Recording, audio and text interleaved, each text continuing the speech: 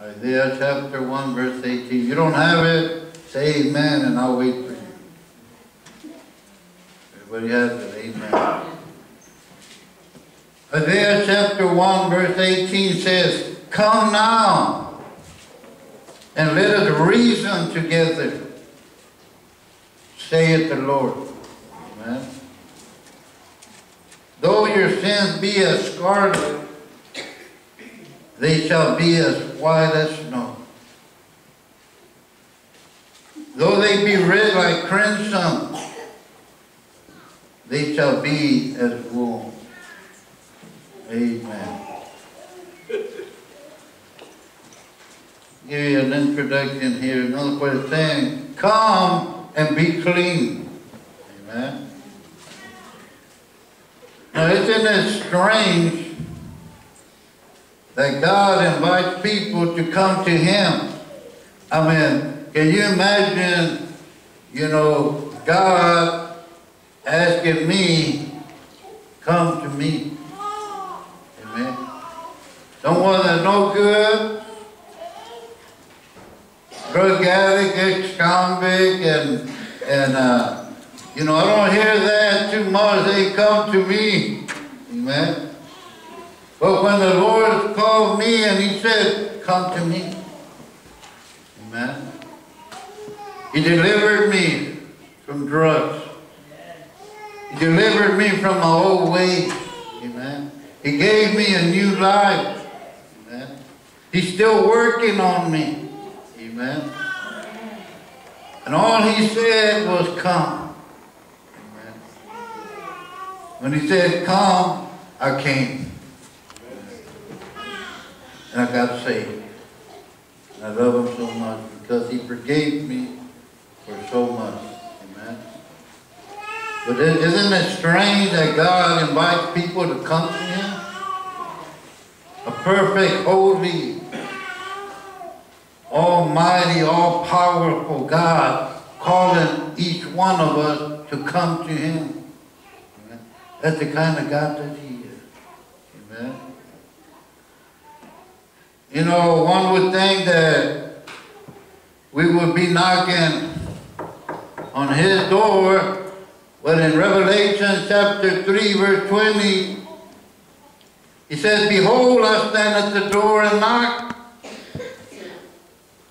The Lord stands at the door of our heart. He said, Behold, I stand at the door and knock. If any man hear my voice and open the door, I will come in and dine with him or sup with him, and he with me. Amen. I had a, I have a picture that of a door. It's an oval-shaped door. It's a lot of flowers, and Jesus is standing on the outside. He's knocking on the door. And I noticed that in that picture, the door doesn't have a doorknob on the outside. So he can't come in, he can't open the door, and he's not going to force himself because he's not a burglar like I used to be. Amen. It has to be open from the inside. He knocks at the door of your heart, but he can only come in if you open it from the inside. Amen. Preach it. Amen. Hallelujah. One would think that we would be knocking at his door. But he's knocking at our door. Amen. In Luke chapter 19, verse 10, I can read it for you. Uh, God seeks us before we seek Him. How many remember Zacchaeus? Zacchaeus was a, a short guy, like me. Amen? You know, I used to be a Zacchaeus. Amen? And he had heard that Jesus was coming, but he was just passing through. Just like Jesus is there today, but he's just passing through. He's not going to stay. He got to go, go on. And he won't stay unless you invite him to stay. Amen. And so Zacchaeus was too short. The Bible says that when we stand, when I stand, most of y'all stand in front of me and I have to tiptoe to look to the other side. Amen. If we're watching a ball game or a wreck or something, uh, you know, most of y'all are taller than me. Amen.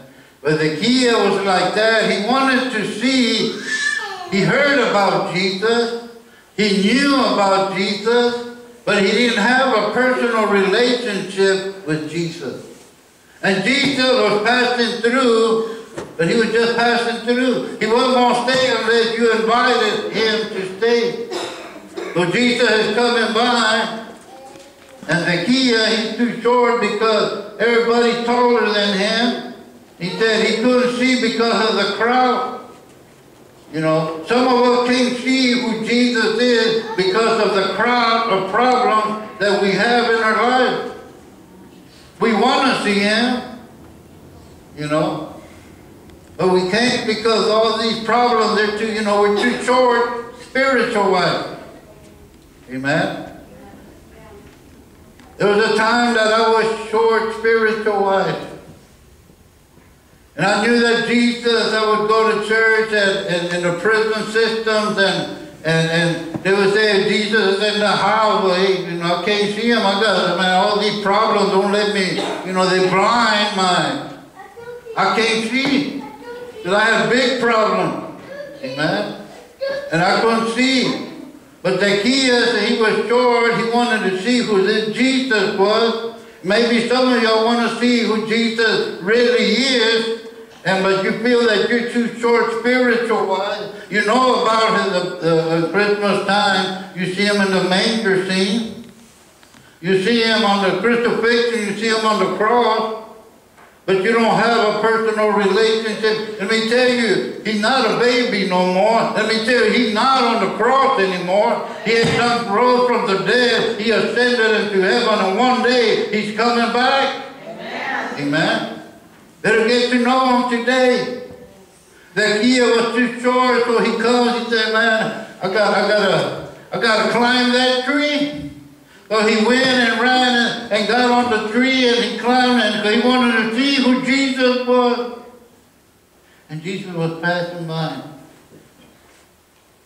And Jesus stopped and looked at him. Zacchaeus, come on down. But today I must abide in your house. Those invitations, come on down. Because today I want to live in your life. I want to live in your heart. I want to abide in your house. Amen. Amen. And you don't have to climb the tree anymore because Jesus already climbed it for you. He hadn't climbed it then. But he went to the cross and he climbed the, the, the, the tree of the cross. Amen for your sins, for my sins, for the sins of the whole world, that whosoever, amen, come to him shall not perish, but have everlasting life. Amen. Praise God. Just doing the introduction. But let me see what happened here at the end of Zacchaeus. I think it's verse 10 here. For the Son of Man is come to seek and to save that which was lost. Amen. Son of Man came to seek someone that was lost. And I'm talking about I was lost. Amen. I was lost. And he came and he Arthur, I want to come in and help you. I want to change your life. I want to take over your life. Amen. And he did. He came in. I opened the door from the inside. And I cried out to kill me, take my life. I don't want to live no more. I'm sick and tired of being sick and tired of being sick and tired. And I got on my knee by my mother's bed, cried like a baby. That's what killed me. And I had felt those burdens just leave me. And I ain't been the same. Amen. Amen.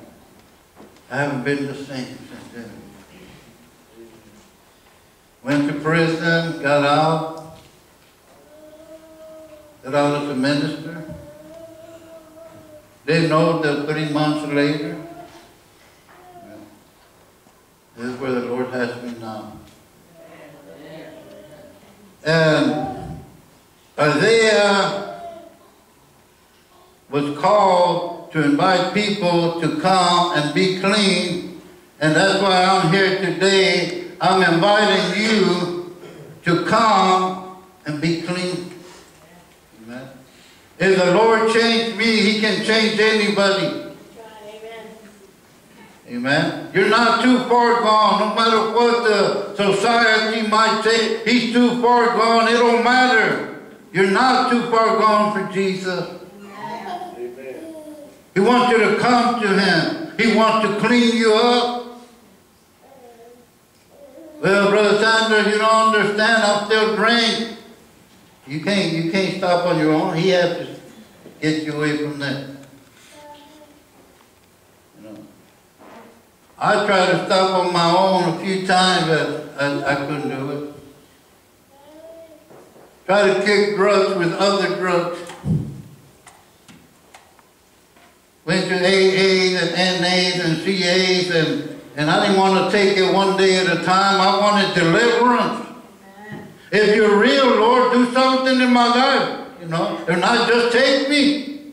When you get to that point that you're sick and tired of being sick and tired, he said, well, I can do something. I know you're no good. I know and you can't get no glory for anything you do because you just ain't no good. But I, I can use you. I can show my glory through you.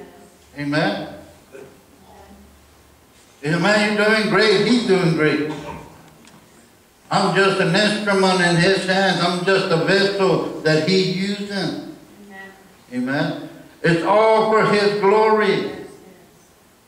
Everything that I've tried to do, I've gotten in trouble. Amen. And everything he does in my life keeps me out of trouble. Glory to God. Amen. So Isaiah was called to invite people to come to him and to be clean. He wants to clean your life up, man. Amen. Amen. It's a wonderful invitation. An invitation that is still being extended today. Amen. It's for you, it's for me, it's for them back then. It's going to be for the ones in the future, your little children, your grandkids. He's still extending that invitation to you today. Amen. Now, what's this invitation all about? Your head. Heavenly Father, I thank you, Lord, for your word, Father God. I know that it cannot, it will not, it shall not return unto you void, but it will accomplish that what you send it to do, Father God. For you know the hearts of each person here today, today, Lord. And I know, Father God, that you want to clean up all up, Father God. And we thank you, Father God, for loving us so much, Father God. Jesus' name. And everyone says, Amen. Now,